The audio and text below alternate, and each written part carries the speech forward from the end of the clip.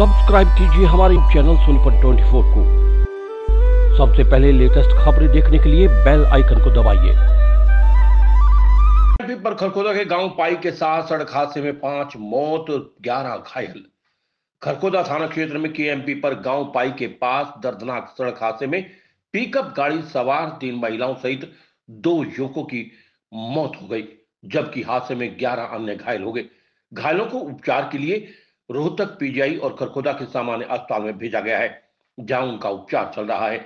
हादसे में हुई मौत में महिला और युवकों के शव को कब्जे में लेकर पुलिस ने खरखोदा अस्पताल में रखवाया है। पिकअप सवार सभी सवारियाँ राजस्थान के खोली धाम पर दर्शन करने के लिए गए थे। दर्शन करने के बाद वापस आते समय हादसे का शिकार हो गए। पुलिस अज्ञात वाहन चालक की तलाश कर रही है। इसके अलावा हादसे में घायल दो वर्षीय बच्चे सहित पाँच की हालत गंभीर बताई जा रही है।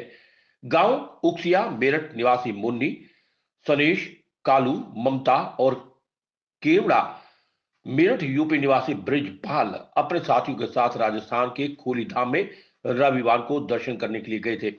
सोमवार को दर्शन करने के बाद वापस मेरठ के लिए चले गए। गाँव पाई के पास केएमपी पर अज्ञात वाहन की चपेट में आने से पिकअप गाड़ी पलट गई। हादसे में तीन महिलाओं सहित दो युवकों की मौके पर ही मौत हो गई, जबकि हादसे में ग्यारह अन्य महिलाएँ और पुरुष घायल हो गए। मामले की सूचना मिलते ही मौके पर पहुँची खरखुदा थाना पुलिस ने घायलों को एंबुलेंस और राहगीरों की मदद से खरखुदा के सामान्य अस्पताल भिजवा दिया, जहाँ से आठ लोगों को रोहतक पीजीआई भिजवाया गया और कुछ का इलाज खरखुदा के सामान्य अस्पताल में चल रहा है, जहाँ उनका उपचार चल रहा है। हादसे में हुई मौत में तीन महिलाओं और दो युवकों के शव को पुलिस ने कब्जे में लेकर सीएससी खरखुदा के शवगृह में रखवाया है। परिजनों के आने के बाद मंगलवार को शवों का पोस्टमार्टम करवाया जाएगा। वहीं खरखोदा थाना प्रभारी विजेंद्र सिंह ने बताया कि केएमपी पर गाँव पाई के पास सड़क हादसे की सूचना मिली थी। हादसे में तीन महिलाओं और दो युवकों की मौत हो गई। शवों को सीएससी के शवगृह में रखवाया गया है, जबकि घायलों का उपचार रोहतक, पीजीआई और बहादुरगढ़ में चल रहा है। परिजनों के बयान दर्ज कर आगामी कार्रवाई अमल में लाई जाएगी। पुलिस मामले की गंभीरता से जाँच कर रही है। पिकअप सवार सभी राजस्थान से धार्मिक स्थल से दर्शन करने के बाद वापस लौट रहे थे। सोनीपत 24 के लिए सोमपाल सैनी की रिपोर्ट। कहाँ के रहने वाले हो? अच्छा कहाँ से आए थे और कहाँ जा रहे थे? होली से आए थे घर जा रहे थे। घर कहाँ आपका? कहाँ पे? यूपी? कहाँ पे? यूपी। तो कितने एक आदमी थे इसमें गाड़ी में? इसमें थे जी चौदह आदमी। अच्छा और फिर कहाँ किस समय हुआ एक्सीडेंट हुआ? जी। किस समय एक्सीडेंट हुआ? टाइम नहीं देखा जी हमने। कितने बंदों को चोट लगी फिर इसमें?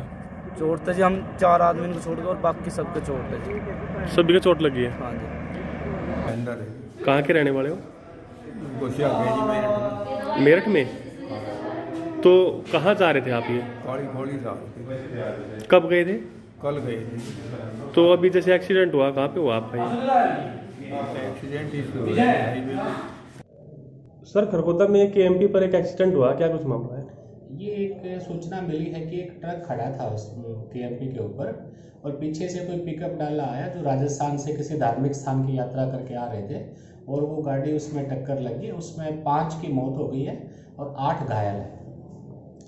तो सर अभी पी- कुछ पीजीआई रेफर भी है? हाँ इस आठ घायलों में से चार पीजीआई रेफर है और चार यहीं खरखोदा हॉस्पिटल में है। तो अभी यहाँ से क्या कार्रवाई रहेगी सर पुलिस स्टेशन से? हम दोनों वाहनों के जो चालक हैं उनके खिलाफ मुकदमा दर्ज कर रहे हैं और कार्रवाई करें